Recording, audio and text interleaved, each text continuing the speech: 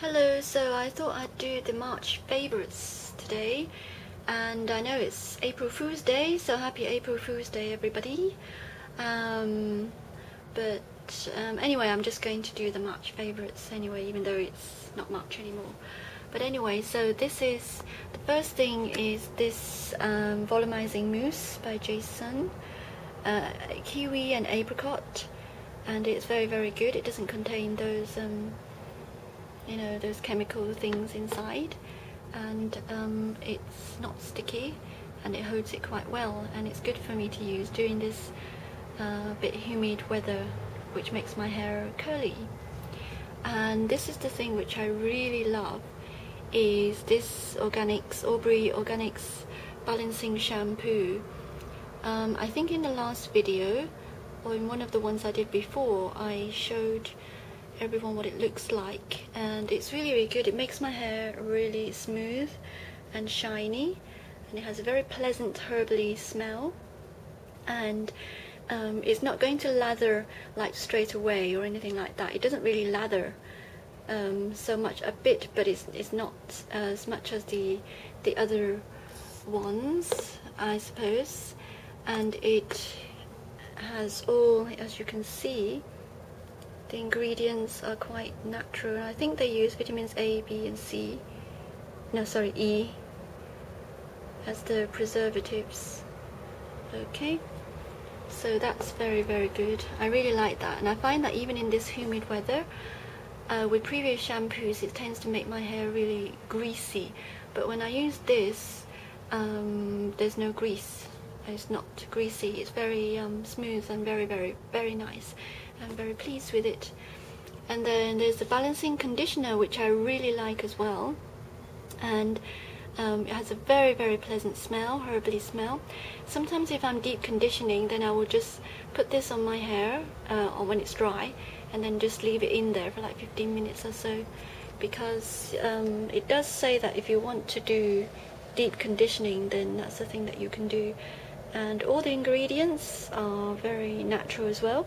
As you can see they use the um, natural preservatives, vitamins A, C and E.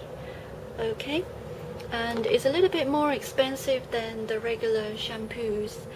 Um, so this is about um, $110. Um, I don't know about, I don't know how much that is in pounds. I think maybe about, no, nine pounds for each and then this one I can't remember how much this was but it's it's a little bit more expensive than the regular ones. But I think if it's good for your hair and, it, and if it's if it doesn't irritate you then I think it's good. Um, yeah so I really like these two. Um, the next thing um, like everyone else I really like Lush as well. Not all the things but um, certain things um, what I really like is this. This strawberry strawberry this um strawberry oh it's here.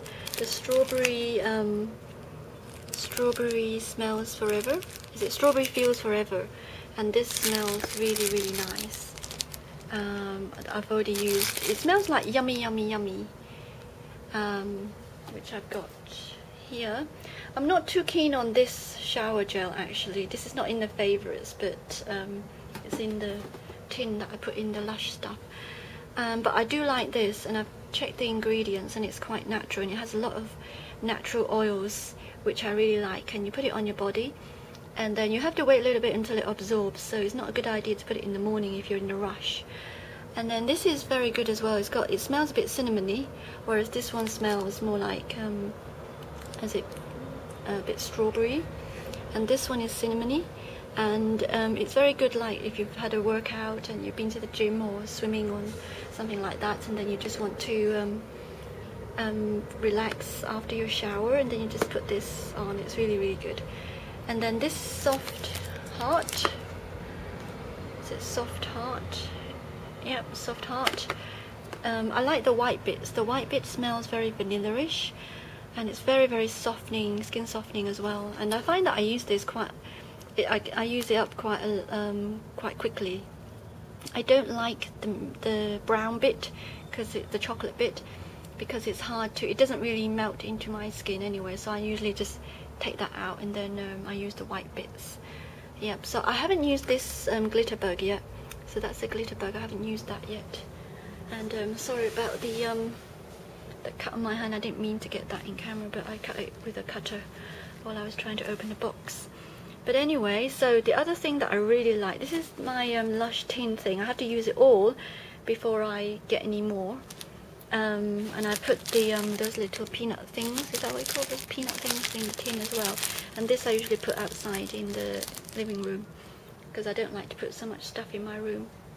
And then um, I haven't tried this yet, but the thing that I really like is this. This is the um, comforter, and it's really really nice. And even though it contains a bit of the um, the SLS, um, but I find that didn't irritate my skin so I guess they don't have that much in or mixed in with the other oils and stuff like that it seems to be okay um, and the other thing that I really so I really like that one um, and then also this one I really like this.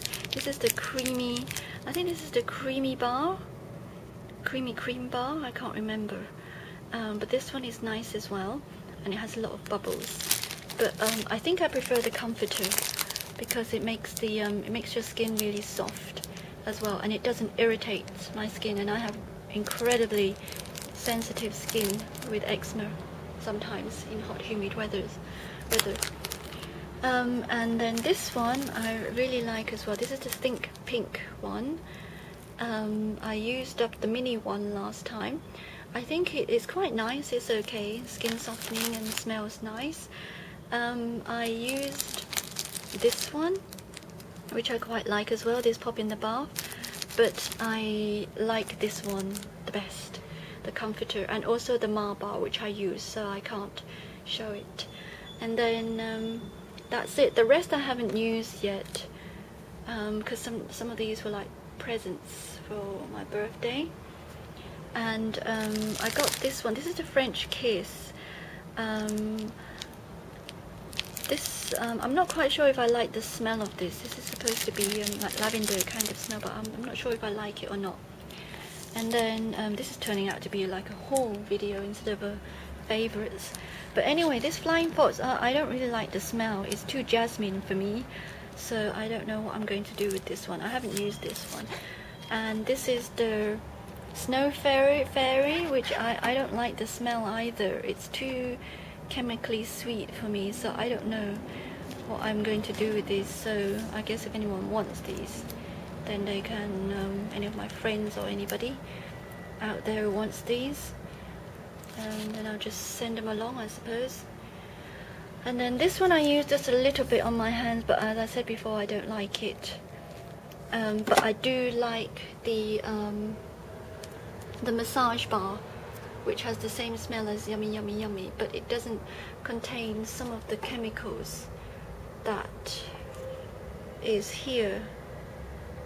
I guess they it does contain a little bit of chemical uh, like the parabens which I'm that which might account for the reason why my skin got a bit irritated I don't really know.